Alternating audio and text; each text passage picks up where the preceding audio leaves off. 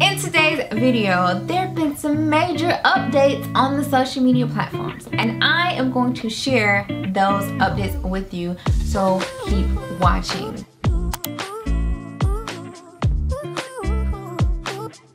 Hey guys, welcome back. Thanks so much for joining in. If you're new here, my name is Angel. I'm a social media influencer and content creator with a following across all of the platforms. You can just call me a diversified influencer. This is my second YouTube channel that I created to share behind the scenes of being a creator. And if that interests you, don't forget to subscribe and click the notification bell so you get notified each time I upload a video. All right, let's jump right into this. Now, as I said, for those of you who don't know me, I do have a following across mostly all the platforms, okay? And in today's video, there have been some major updates on the social media platforms and I am going to share those updates with you, so keep watching. So if you don't know, I'm a diversified content creator. That means pretty much I have a following on multiple channels practically every channel, which includes YouTube channels. This is my second. Um, Instagram, Pinterest, Twitter, TikTok. I love TikTok, by the way. Follow me there if you aren't. Instagram and Facebook, I didn't say that already. And I have a blog. But yeah, so I utilize all the platforms. So I can give you an overall gist of each of them. I just really love studying social media. And so I utilize it at its full force. There have been some changes and updates going on on these social media platforms. So I'm gonna give you the most recent updates that I know of. If you didn't know, you can make money on Facebook with ads, just as you can on YouTube, okay? Now, if you wanna know the requirements, because Facebook has their own set of requirements, just like YouTube has their own set, I put that in a separate video. You can watch that video. Now, in the past, your video had to have been three minutes to monetize and put ads on your videos on Facebook. That was the minimum. But recently there's been a change. And the reason why I know it is because I recently uploaded a video shorter than three minutes. And guess what? Your videos don't have to be three minutes now to put ads on them. Like that is yeah, they don't have to be three minutes now, which is great because from my experience, okay, this is just from me and my channels and my content. I can't speak for everyone. People don't really go on Facebook to binge and watch videos as much as they do on YouTube. Like when they go to YouTube, they are going to watch videos, okay? But when they go to Facebook, they're not necessarily going to watch videos, you know, because Facebook is, you know, a multifaceted platform. It's a lot of stuff on Facebook, but they're not necessarily going to like binge videos.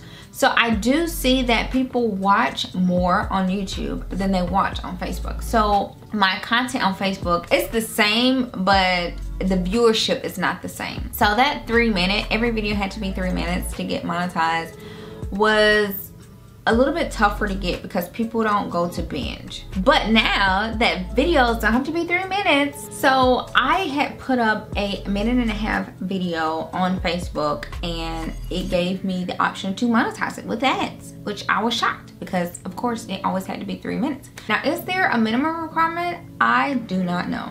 I'm gonna read you what I just found on their Facebook website. So once you've reached the eligibility requirements to get monetized, it says please note in-stream monetization supports content less than three minutes long. It does not give a minimum requirement once you've met that eligibility threshold. Once you've met that, it doesn't say how long it has to be. It just says that they do support in-stream ads with content less than three minutes long.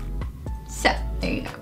So if you're gonna incorporate, you know, that revenue stream in your business in the future, it's a good thing to know. For YouTube, there's also been an update with YouTube with the threshold of minutes. So in the past with YouTube, your video had to be at least 10 minutes to be able to add more ads in your video. It's kind of a tongue twister, add more ads. so now the minimum threshold to incorporate like mid-roll ads is eight minutes, which is great. So you don't have to make that 10 minute threshold now to get those mid-roll ads. That change was done a few months ago, like maybe middle of last year or something. And you still could monetize videos less than that. You just can't do like mid-roll. You could, you know, do the beginning and the ending for ads. But yeah, it's eight minutes now. So there you go. Moving on, another great update. And I think this was available in the past, but it's just much more easier now, relevant now. But that is you can schedule your post on Instagram through the Facebook Creator Studio. If you didn't know, Facebook owns Instagram. And Facebook has a creator studio, just like YouTube has a creator studio. And with the studio he gets so many options in there. If you guys have not checked that out you should. It's it's very useful insightful and a powerful resource.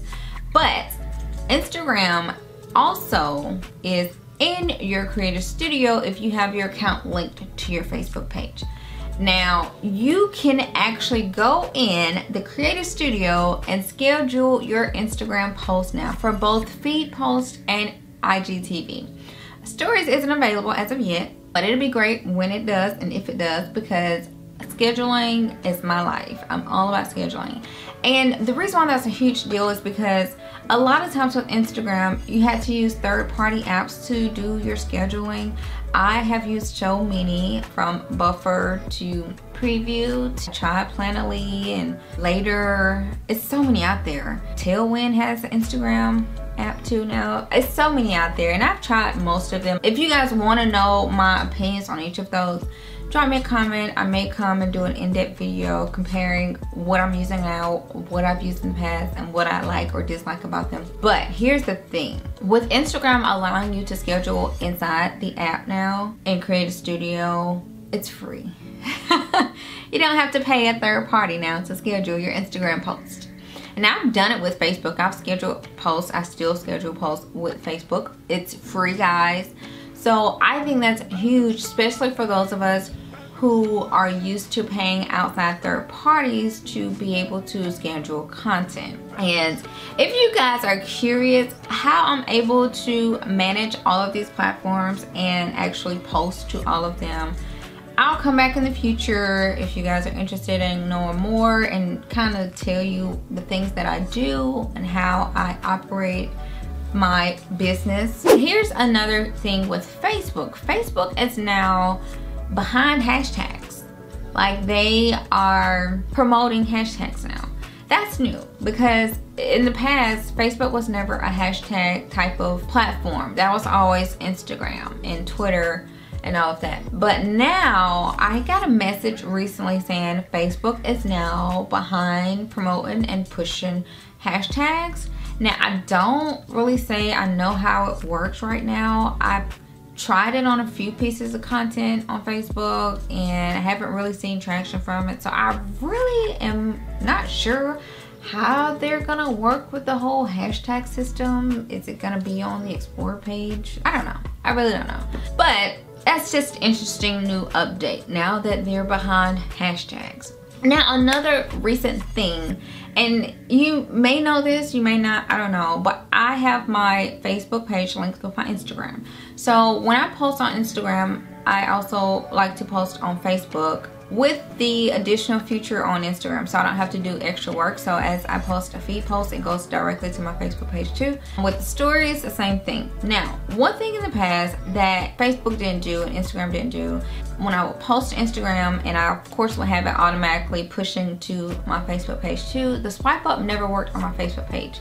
So I will have to manually go into my Facebook page add the story and manually add the swipe up. Same with polls and questions. Like if I had put a poll on my Instagram story and I just, you know, have it the option to automatically post to my Facebook page, even though it automatically posts, like the question wasn't clickable, the sticker wasn't clickable. I literally would have to manually go in there add a poll or a question or whatever on my Facebook page story because it wasn't syncing going through.